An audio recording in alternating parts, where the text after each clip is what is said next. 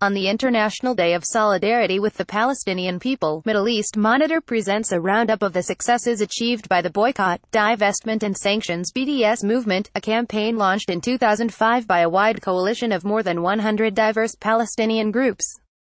Though there are many ways to show solidarity with the Palestinian people, over recent years, the BDS campaign has emerged as the primary and most effective strategy of solidarity being adopted by activists and campaigners worldwide, and has provoked a fierce backlash by Israel and its allies. Economic boycott and divestment A number of major international companies have responded to BDS campaigning by getting rid of Israeli subsidiaries and even withdrawing from Israel as a market. French multinational Veolia quit Israel in 2015 after a global campaign targeting its links to occupation and settlements, while the following year, Irish construction giant CRH withdrew from the Israeli market. Also in 2016, Orange dropped its Israel affiliate following intense BDS campaigning in Egypt and France. A number of significant investors have also divested from companies targeted by the BDS movement for their complicity in Israeli violations of international law and human rights, including pension funds in the Netherlands, Sweden, Norway, New Zealand and Luxembourg.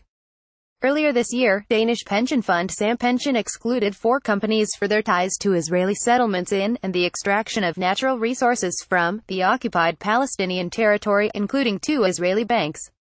The Fight Ahead 13 questions about the origins, objectives and war on BDS trade union solidarity BDS principles and tactics have been formally endorsed by national trade union federations in South Africa, UK, Scotland, Ireland, Norway, Sweden, Belgium, the Basque Country, Brazil and other countries across Latin America, in addition to scores of national and local unions. Recent examples include the Norwegian Confederation of Trade Unions voting in May for a economic, cultural and academic boycott of Israel, while Unifor, Canada's largest private sector union with more than 310,000 members, also adopted a BDS motion in August. Local authorities' motions in support of BDS and BDS initiatives have been passed by more than 50 councils in Spain and by dozens of other local authorities in the UK, Australia, Sweden, Norway and Ireland. While pro-Israel groups have pursued legal efforts against Spanish councils with some degree of success, in the UK, Jewish Human Rights Watch, a pro-Israel advocacy group focused on lawfare, lost its legal action against three local authorities who had passed resolutions in support of Palestinian rights. Students and academic boycott over 50 student councils and associations in North America have expressed support for BDS or backed specific calls for divestment from complicit companies.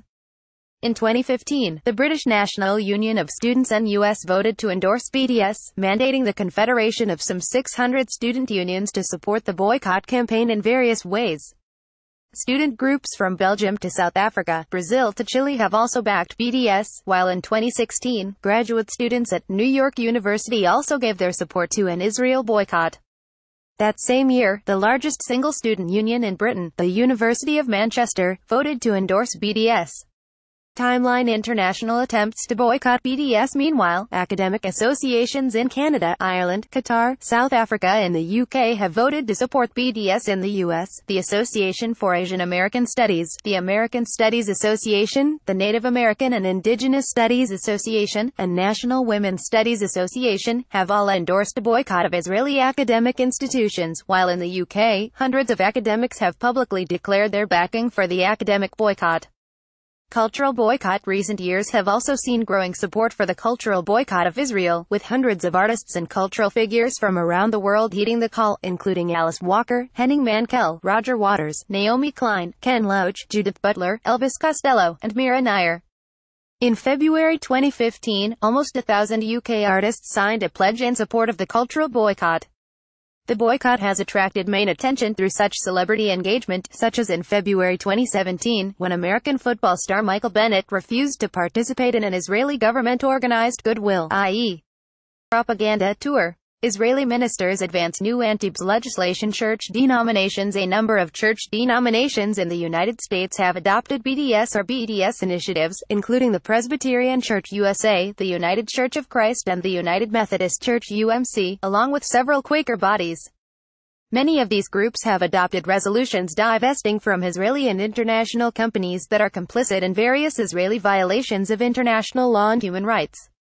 The Israeli backlash The Israeli government has mobilized significant resources to tackling the BDS movement in 2016. The budget included $33 million for anti-BDS initiatives.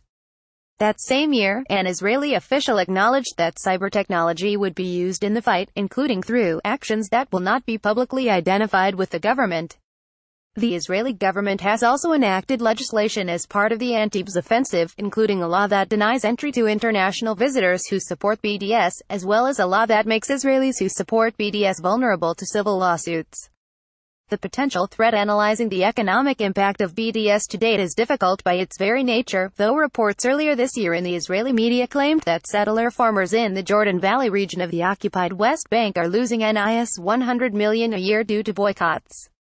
In terms of future potential, one internal Israeli government report suggested that BDS could ultimately cost Israel's economy $1.4 billion a year. The RAND Corporation has estimated the potential costs at $47 billion over 10 years.